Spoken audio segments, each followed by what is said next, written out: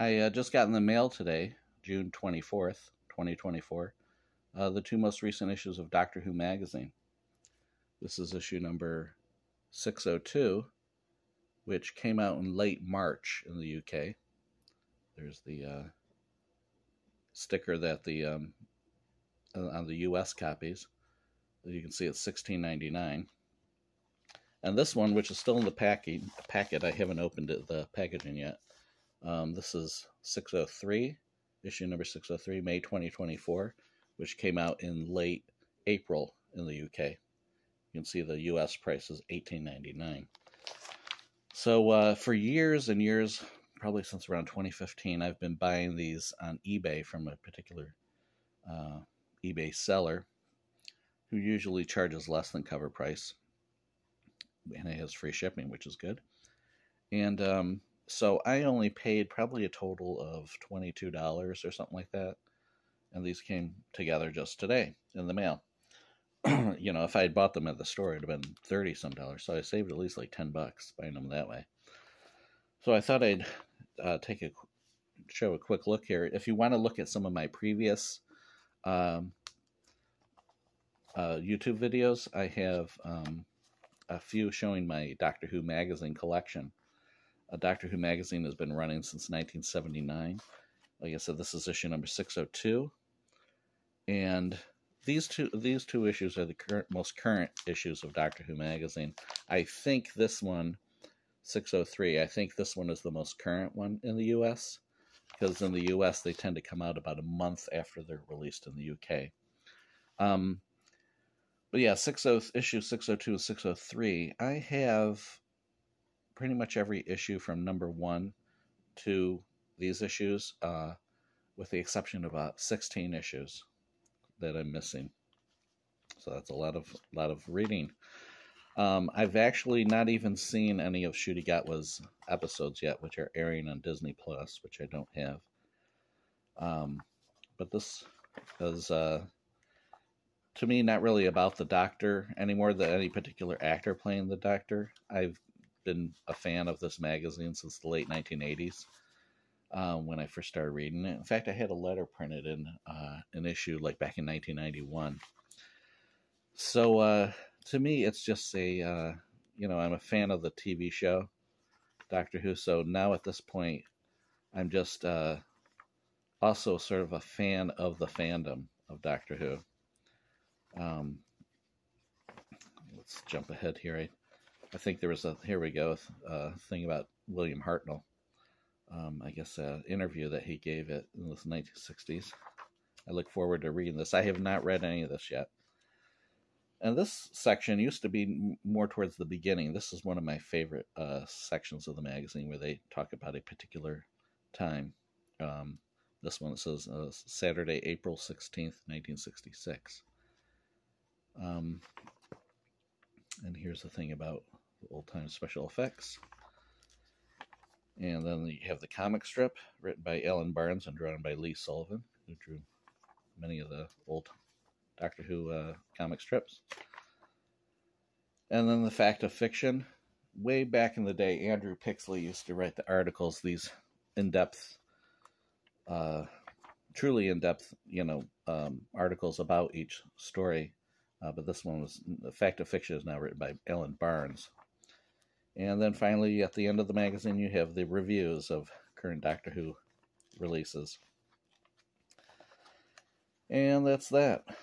So it looks like an alright issue. I mean, even, you know, for someone like myself who isn't watching the current Doctor Who, uh, not that I have anything against it, I just uh, haven't uh, seen it. Um, there's still stuff of interest, and especially looking forward to that reading that William Hartnell uh, thing. Now we're going to open this up. I've shown in previous videos how I uh, open these up. The temptation is open to open it up from the bottom or something, but I prefer to open it up from the top. We're going to see how, here we go, you can see there's an opening right in there. So we're going to just carefully try to separate that. I'll show it better with my, without tearing it too much. There we go. That's going to be kind of sticky. So it might be better for me to just cut it We'll see if I can pull it apart there. Well, this one's coming along nicely. Well, there we go. I'll just have to do the other side. And just try to do it without destroying the wrapper. Because I like to keep them in the wrapper. You know, if at all possible. Sometimes they have really big wrappers, which are kind of like too big for uh, the boxes that I put the magazines in.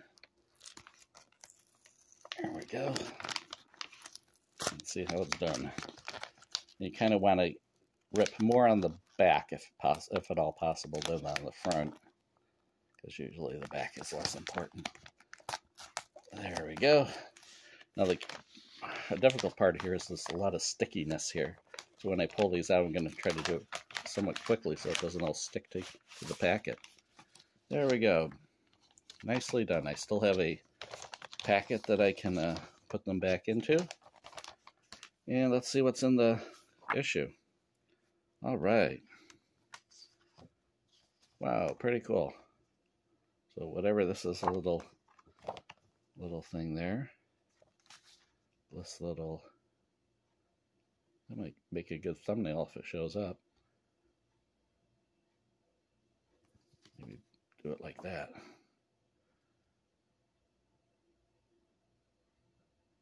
Hmm. So, and then the the magazine and this little uh, comic strip thing. It looks like. Hmm.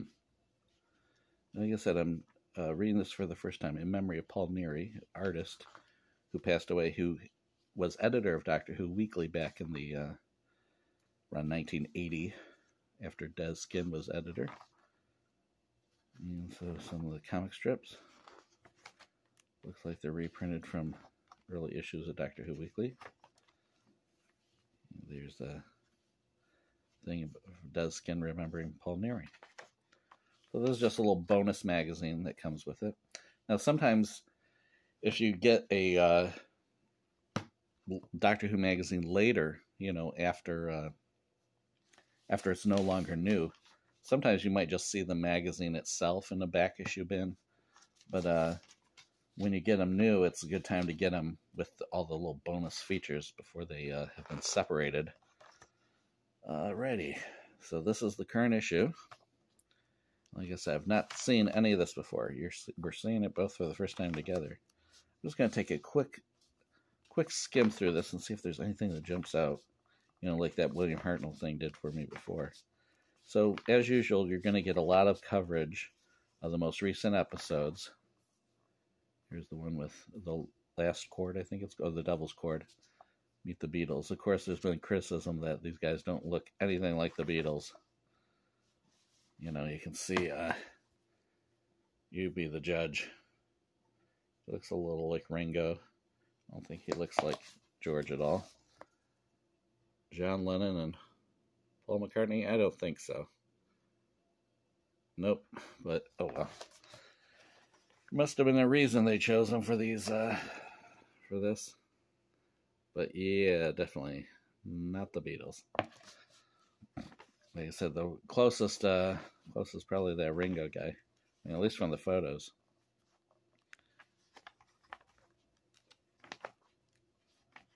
So lots of stuff about the current stories. And then about the Beatles uh, in the 1960s, John Lennon with a Dalek. And I think that, uh, oh, what's this? About the uh, original Stargate, uh, Starfield uh, scenes from when Doctor Who, uh, back in the day, how they were done there's probably already been lots of stuff like that, you know, in previous Doctor Who specials and stuff. It's in a way, it's kind of like, uh,